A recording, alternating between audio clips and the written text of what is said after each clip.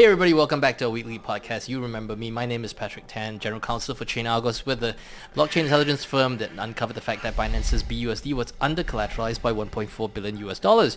Not just that, I mean a lot of stuff happening with Binance this week. As usual, every week is my CEO partner in crime, Jonathan Reiter. Say hi everybody. We finally got him out of hiding. He's back. Uh, actually, this looks more like a bunker than anyway. So he, he, he came back from being on the run last week. If you watched last week's episode, he was on the run, but we managed to finally locate him. We're back in the bunker again where we're safe. Well, We're well above ground. It's it's to be said. We're not actually in a bunker, but uh, So thanks for tuning in. Um, thanks for all the comments from the last uh, episode. Um, and this week, obviously, we have to talk about Binance because this is a big week, not just for Binance, but it's a big week for the industry. Um, you know, we've had a whole bunch of questions uh, come in. We can't answer all of them just because there's just too many, but um, we're going to talk about Binance this week. We'll talk about a whole bunch of blacklisted wallets that we've been um, monitoring, observing. If you've been following us on Twitter or X, it's now known. Um, you know, we've listed a whole bunch of wallets, funds flowing through them. And finally, we talk a little bit about pig butchering. So that's what we're going to talk about this week. Quite a lot of ground to cover, so you can expect that you'll have to wind down the speed of which I speak by at least like 0.7, 0.8 times. So um, anyway, let's just talk about Binance. So it's um, this is it, right? I mean, this is like uh, in some ways, some people have said this this is the end of an era. Um, uh, 4.3 billion dollars uh, fine. Uh, of course, if you actually go through the nitty gritty of it, it's not all at once. It's not everything everywhere all at once. It's it's there's like staged payments and stuff like that. and this rolls up a number of other Yes, historical Yeah. and slightly pending settlement payments, which is also standard procedure. Yeah. So you have a bunch of stuff, um, and then you know, uh, CZ has agreed to some kind of custodial sentence, presumably. I mean, the judge gets to pick the sentence. There's no, yeah, I, I, The there's no specific agreement on sentence, sentence. but he gets to build his own prison. No, my, my understanding was that the deal was that he would not appeal as long as, As long the as the sentence term was shorter eight- than 18, 18 months. Yeah, So the term is longer than 18 months. He gets to build his own prison in the Catskills. Okay, that. I mean, to be clear, the judge could decide it's some massive number he could appeal and get rejected, and it's anyway, right? That, that- that's a feature of the U.S. legal system. That's not a feature of the prosecutor cannot make binding deals on behalf of the judge for U.S. constitutional reasons that are not important for this podcast. So um, we got that, and he's got a, like a some some would call it a slap on the wrist, um, a 50 million dollar fine. Oh, the personal fine as The opposed personal to the fine, fine. of 50 million. Um, I mean, he owns what substantially all of the exchange, so there isn't really a difference there. But okay. yeah. So um, there's that. Uh, well, well, actually, no, no, no. He doesn't really own all of the exchange. That's actually not true. If you go back in time a little bit to the history of Binance, um, there there were early investors. I don't He know. owns he bought them a out. lot of the He owns, exchange. yeah, yeah, I correct. mean, that's it- that's this true. is not a situation where he's the CEO of a company that he owns one percent of the. Correct. So J- Jamie Dimon owns some shares in J.P. Morgan. Yes. Right. So in some sense, when he agrees to fine on behalf of J.P. Morgan, he's paying it as the one percent shareholder. The- Yeah. If you're the seventy-five percent shareholder, there's little difference between your money Correct. and the company's money. So Yeah. it's, it's not that yeah, kind yeah, of. correct. It's not that kind of distinction. So uh, let's talk about Binance. You, uh, we've gone through the cons- consent order. Um, uh, uh, bear in mind, none of this is uh, like it's it's not a. I don't even believe 100% of the exhibits have been made public yet. Correct. Most of the stuff, but the final plea agreement hasn't been settled and the whatever. So there's still Things some pending. there's still some ways to go. Um, but just looking at that consent order, I mean, I have my most immediate concerns about some of these things is um, lookbacks. So the lookbacks basically you have to go and look back at all of your transactions to see if you've violated anything, you know, you've evaded sanctions and stuff like that. And if you have, then you have to, you know, sort of like resubmit um, what's that, a suspicious activity report. Yeah, yeah. Um, given what we do know, at least from public documents, court documents, SEC uh, suits against Binance, these were people who didn't really keep a lot of copious records. Um. Well, okay, so I, I'm not sure how I feel about that. Certainly, they weren't filing suspicious activity reports in real time. Fi- I mean, not. that's the substance of the of the, Yeah. the deal. Whatever. But whether or not the database, transaction histories, whatever, contain sufficient information to reconstruct that stuff fairly easily now is possible. I mean, every time I have worked with a trading system within a usually a bank, and then there's a bunch of other systems. The only one where the records are properly reliable is the trading system, right? Nothing else. There's comment fields in Yeah, the yeah, sales yeah. credit system, and so as long as the trading system has you know been around consistently, right? Because if you screw up the details of the trades, you start having massive P&L problems all over the place and stuff's missing and the computer doesn't work. Um, whereas you can cobble together the accounting reports, you can cobble together various filings. So I suspect that the trade database is okay and they can figure the stuff out historically, right? Whether they kept records of what deposit and withdrawal addresses correspond to what account numbers, almost certainly they do because Yeah. again it would be harder to purge that stuff in a way that didn't break things Yeah. than to just keep the table around i guess we'll find out um, i mean the fbi definitely has computer forensics experts so if they're like oh we lost our database we need help restoring it yeah uh, whatever their cloud services provider based in the western district of washington i think we can figure out who that is uh, you know it, it that should all be solvable Right. In fact, one might wonder if record preservation requests weren't passed to the cloud services provider based in the Western District of Washington quite some time ago, because of course stuff like that happens. Um, Amazon says they don't have access to your data, but that doesn't mean that they don't have access to your data in the sense that they can like make sure there's a backup Yeah. of your S3 bucket, or whatever it is. I'm pretty sure that's a service that they've had since the beginning, because, no, of course they have. Anyway. So, oh, oh, I mean, overall, what did you, what did you think about the Binance? I mean, it's it's fascinating. Um, certainly the the fine is a large number. The Yes. number, the volume of transactions is super super huge. Yes. So if we go back, there were some Poloniex settlements in Ohio years ago, and they were doing you know billions of dollars in payments that were you know unlicensed money transmission, whatever, and they paid like a, a low six figure, five figure, whatever fine. Okay, uh, what's the total payment volume that's gone through Binance since 2017? Right, certainly in the hundreds of billions of dollars at least, trillion dollars, trillions of dollars, whatever. So yeah, comparatively, it's a larger fine than it was for some of these money transmitter weirdnesses, um, but it's commensurate with the It's incredibly high size of the payments. I, you know, whether it, is- should be proportional. 500 million or 5 billion, I, I don't have a strong opinion on. Um, the extent to which it's kind of the largest fine of this type that's ever been levied. It's also the largest amount of sort of a payment network that didn't file any paperwork that's ever been constructed. So, okay. Uh, yeah, uh, the main feature seems to be that they wanted access to a lot of records and information and cooperation and sort of demonstrate that you have to get licenses or you'll be stopped. It's hard for anybody to believe they're bigger or more too big to fail, Yeah, I, such I, as it is. I, I noticed that. I didn't. I didn't see him try to maintain the fact that, that, that the U.S. has no jurisdiction over him, or for him to proclaim himself self-sovereign or something like that. We didn't see any of that nonsense. Well, he specifically said, and this is the transcript of the plea hearing, Yeah. that he had been, and it's a little bit unclear if this is uh, English, if this is lack of intonation, because there's no recordings Yeah. in the core thing. It's just written transcript. If this is an English issue, a phrasing issue, or a, you know, you'd make sense on camera, but doesn't written, that he'd been offered UAE citizenship and didn't want to use that to avoid these things. That made it unclear as to whether or not he'd accepted it and it consented to extradition anyway or whatever, something like that had happened. But certainly in the appearance in person, he made a point of saying, like, I would like to deal with this problem and not have this problem going forward. Exactly what problem was conveyed in the negotiations prior to this unclear. We only know it's in the documents. But uh, yeah, no one seems to be asserting that the U.S. doesn't have authority here, which doesn't mean that there isn't a plausible case that they don't. It only means that they were able to convince people that they should submit to such jurisdiction. It's Yeah, a so- lesson there somewhere, right? One, one of the things that did surprise me is that, you know, knowing the fact that there should be a custodial sentence at the end of this, is that he. I mean, it could be what Arthur got uh, home Home detention, so you know.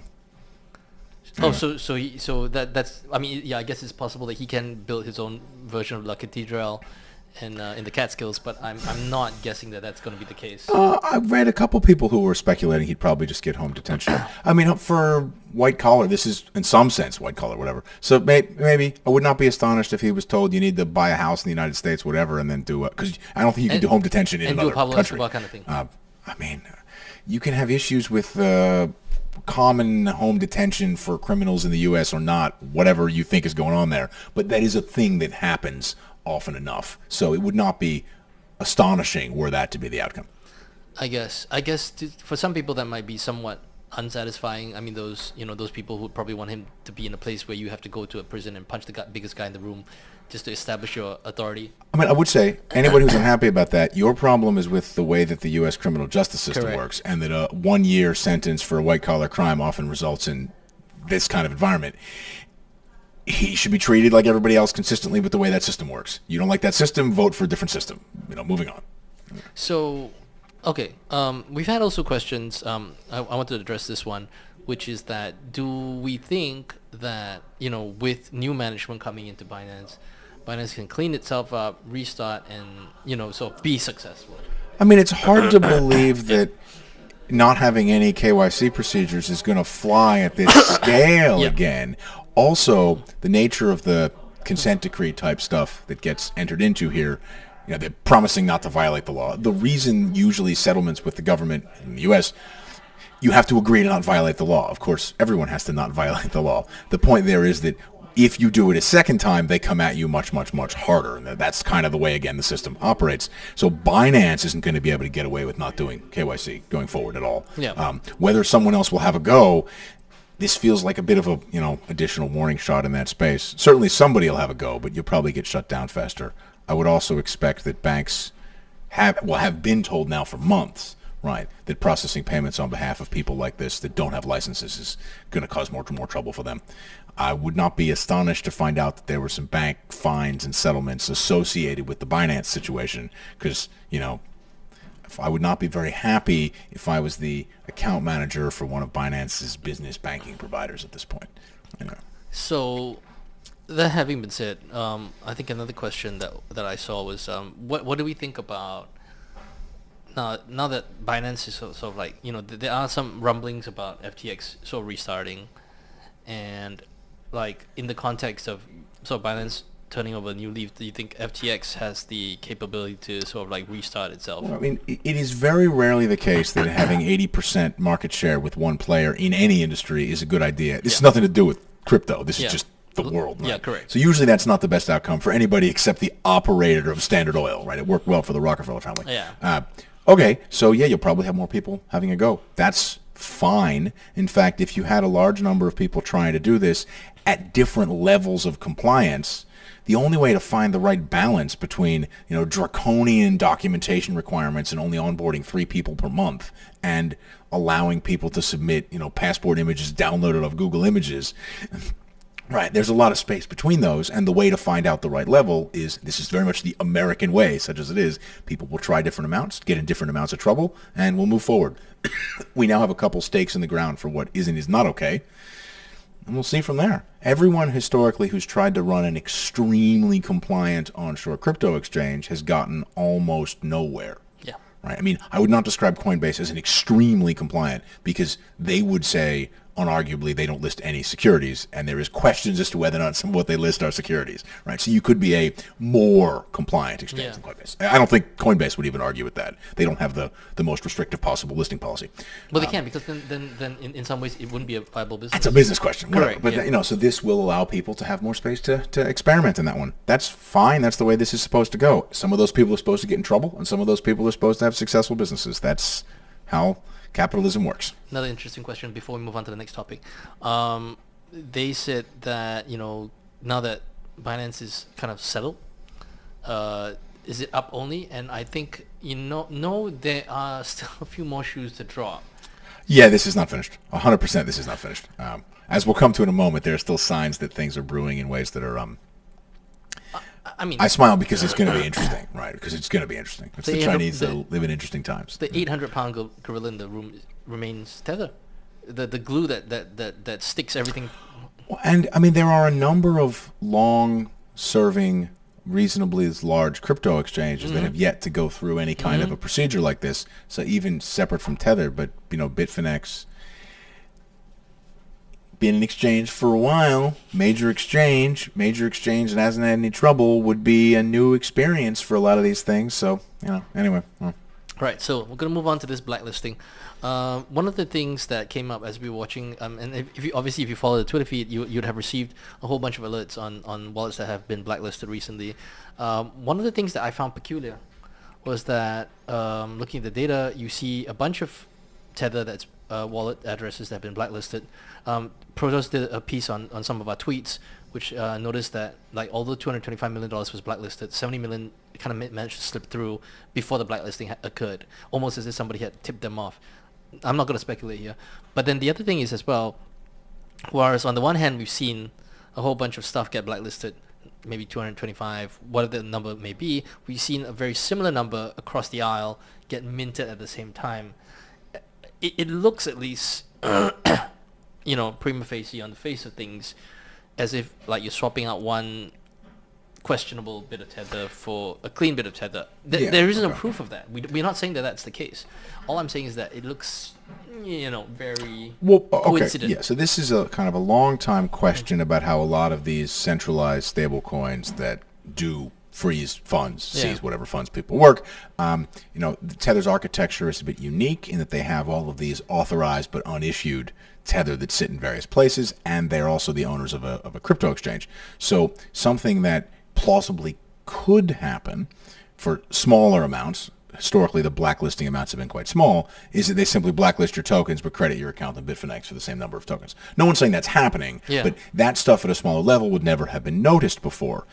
This, for the first time ever, seizures of this, freezes of this size, probably don't fit within the buffer that's hanging around that's available for doing those things. So were that a thing that routinely happened, you would see this type of behavior now where the stuff is frozen and then it's freshly minted to somebody, whatever similar sort of account access somewhere. Uh, Again, we don't know that's happening, Correct. but there is a difference because the size of the seizures is so much larger than what they've done historically that you might start to see that you know visible in the in the activity where you wouldn't have earlier seen it. I'd also say that this sort of thing isn't unprecedented. I mean, we know for a fact that, and we covered this a couple of months ago, um, Paxos, right? Yeah, so- Paxos yeah. swapped out Wintermutes uh, do- dollars that were like stolen or something like that and gave them fresh. Yeah, so there was a Wintermute, whatever, hack exploit a problem, and yeah, a bunch of the, the USDP there were burned and then reminted to different addresses associated with Wintermute. So clearly there is a procedure. I mean, Wintermute is a you know company, reasonable, whatever. Maybe they went to the police, complained to whoever. No one's saying the right process wasn't followed, just that Yeah. a process exists and, A and process that exists. happens. Yeah. So it's entirely plausible, and we're not saying that this is the case, but it's entirely plausible that now Tether has long-time customers. They go like, okay, guys, you guys, all your wallet addresses got doxed. We have to blacklist this stuff. Don't worry, it's going to appear on this site. Not saying that that's what they did, but I'm saying that, that it is possible. Or they could also simply mint the tokens and put them in their corporate whatever account because the dollars now have to sit and be segregated somewhere. I, we don't know. We don't it's just know. interesting to see. It's Um, interesting to see, and I think that the, the, the, the way the, the numbers line up makes it interesting. Well, I mean, okay, at, were I running this, the, the the operation, Yeah. and funds were frozen, Yeah. I would, you know, blank these tokens. Then I would mint fresh tokens, and I would put them into a segregated account for the pending law enforcement resolution. Yeah, which is not otherwise. is, which is reasonable. Otherwise, I would need to segregate my dollars to match the smaller number of tokens outstanding and Yeah. say, oh, well, there's 80 million whatever dollars have to go in a separate bank account and track that separately. Rather than doing that, I would just use the blockchain token holding records and have a address or addresses that were associated with those holding areas. That's how I would run the record keeping. I don't work at Tether, but you know, um, so it's also equally conceivable that that's what's happening. Um, we will eventually find out how this thing really operates, but we don't yet know. No, we don't. So finally, to talk about pig butchering, it always gets me hungry. Um, pig pig butchering, not necess- uh, Pig butchering, for those of you who are not familiar with the idea, um, it's that in Asia you run a scam where you basically fatten the uh, the victim by you know getting them to uh, you know increase the amounts of money that that you take from them. You fatten them up, and then finally you steal all of the money, the crypto, whatever stable stablecoin. What's increased promised returns, Yeah, getting people to contribute more, Yeah, more, correct. more, and then you, yeah, all the money. So back. hence pig butchering because you fatten up the pig and then you butcher it. So um, it's interesting that that there has appears to be um, across the Pacific, from the U.S. and China, some kind of consensus that look we have to do something about this, which is Well, strange to me. these large Yeah. seizures are associated they're- with yeah. with pig butchering stuff, which is generally run by you know, whatever East Asian criminal type operations. This is covered in the newspaper eh, over and over and over for years now. This is a So I found that interesting simply. we get like police notices on the street here telling us to be careful about such Yeah, yeah, scams. Right? This is a So- this is a popular culture problem. So I, I found that to be interesting simply because you know in the, in, in, in the list of priorities as to what you want to take care of, I mean like you got fentanyl, fine, uh, terrorism flows, money laundering, sanctions evasions. That stuff should necessarily rank pretty high up on, on the list of priorities of things that we want to address. Pig butchering, as, as egregious as it is and as many victims as it claims, isn't to me like something that I would um, imagine that Washington and Beijing would agree on. It's been traditionally the last few years more of a priority for governments in this time zone, Yeah. uh, give or take. Not so much Western so much. There's concerns with scams and things, but you know, this is really this is something you see in the newspaper routinely Yeah. in countries in Southeast Asia and East Asia, where people getting arrested for scam syndicates being shut down for for these types of things. Yeah, and I don't think it's something that is as high a priority outright for the U.S. government. So to see. Um, was it Tether, the U.S. and OKX? I think was Yeah. the headline. You know, working together to help combat these types of scams tells you that I guess the people perpetrating these scams have managed to sufficiently anger groups Yeah. that don't normally get along very well, Yeah. which is interesting. I mean, you don't think of OKX, Tether, and the United States government having the same agenda a lot of the time. Yeah. So, you know, uh, people who follow what U.S. politics and Facebook may recall it was discussed how Mark Zuckerberg had managed to piss off Democrats and Republicans in the U.S. at the same time. And the only thing people agreed on for years in Washington, D.C. was that Facebook was wrong. Um, it's not going to end well, right? So, I mean, again, these are whatever people, criminal scams, some. eh. Uh, it's just interesting to see that that's now a priority for groups that don't often agree on much related to crypto. So. I don't. I do wonder why that is though, because if you think about in terms of the demographic of the victims, it's it's neither very large, nor very well connected, nor very well heeled. So it's it's just surprising because this is not like uh, uh, I mean you know whatever your views on politics are. I mean this is not really your tier one priority in terms of like you know if you I mean, the scam stuff is large enough. It's certainly in the newspaper a lot here. I, I, I, I don't know. I, I, I'm a little bit surprised. At the same time, I'm sure the U.S. is perfectly happy to go with seizure orders, stuff, whatever, criminal, try to participate, shut stuff down. They, they don't have a vested interest in perpetrating any of these crimes. Yeah. It's not, you know, I don't know. Right. So um, on that note, thank you for tuning in. Um, we hope you have a great weekend. Uh, if you got any questions, hit us up on the comment section below. Don't forget to like and subscribe or to share the video. Um, thank you for all the email questions that you've had sent to us. We appreciate it. Keep that coming. Um, and if not, then we'll see you next week. Yeah. Bye bye.